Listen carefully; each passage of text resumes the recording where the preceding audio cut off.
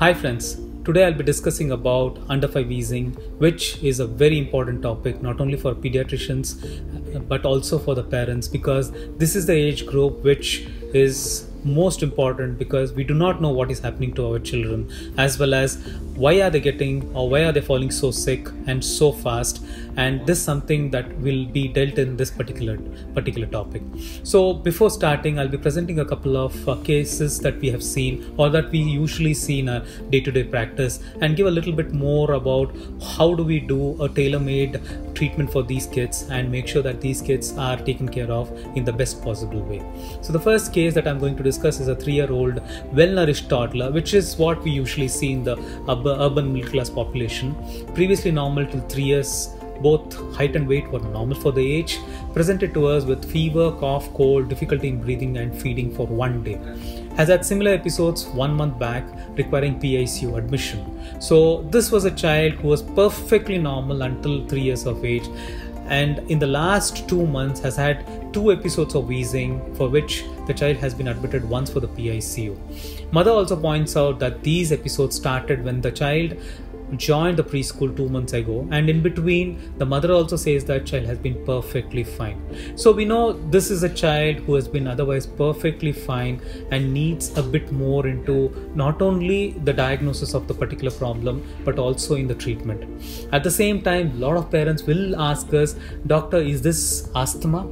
Second question will be does the child require long term medications? And does the child require inhalational medications. So all these questions will be definitely something that will be not only asked but also something that has to be taken care of in a reasonable way. So, going on to the second case scenario, this is a four year, six month old child, complaints of cough since last two months, which is commonly what we see in our day to day practice. Cough, dry nature, more in the night time, but also present in the daytime, more so during exercise induced, that is, whenever the child plays, child sings, child starts coughing a lot, and has visited multiple pediatricians and prescribed oral medications as well as inhalational therapy. And this particular child came to us and he was having significant amount of wheezing in his chest and when we looked at this particular child, we could see that child also had a few eczematous patches on the skin. Even though there was eczematous patches, seemed to be healing patches and something that was present at the uh, past. So again, this is a child who has had past history of atopic dermatitis or eczema presented to us with uh, what we call as under 5 wheezing. So we have two different clinical scenarios. One is a child who has just started preschool and started wheezing with every viral infection and the second child is the one who has had past history of eczema which is called as atopic dermatitis and come to us with two months of cough. So how do we treat them? And do we need to give the same medications to them or should we treat them differently? Definitely. First child is a child who has something called as under 5 wheezing which is happening because of a viral infection. So as soon as the children get into a play school they are exposed to numerous number of kids and those kids can give viral infections to each other. And this viral infection can definitely cause significant amount of wheezing in children. In both these kids we would definitely want to ask not only personal history we would also want to ask the family history as well as environmental history. In the second case both father and mother had allergic rhinitis which has been persistent throughout their life as well as the grandparents had allergic allergic rhinitis. So there is a significant family history. And environmental history wise, the first child did not have any problems, but the second child had significant amount of exposure to house dust mites in terms of fluffy blankets, fluffy carpets, sofa sets in the house, as well as father being a smoker.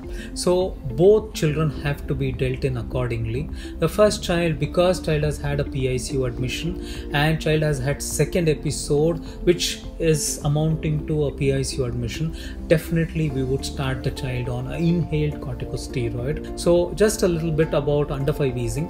Under 5, so wheezing is a continuous high pitched sound with the musical quality emitting from the chest during expiration.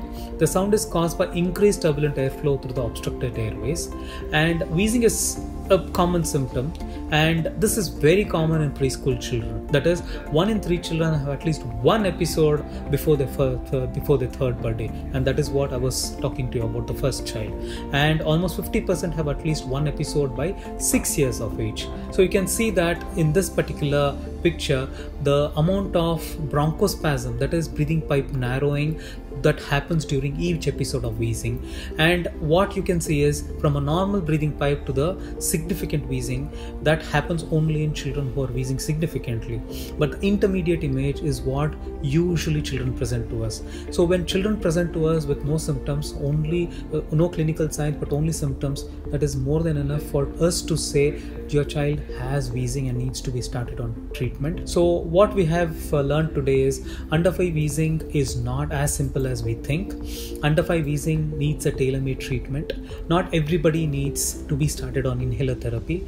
We have intermittent uh, uh, relievers and we have preventer therapy. So depending on child's condition, depending on family history, depending on environmental history, we have something called as modified asthma predictive index through which we can predict the possibility of uh, low probability, medium probability, or high probability, and depending on that, we treat these kids accordingly. Thank you.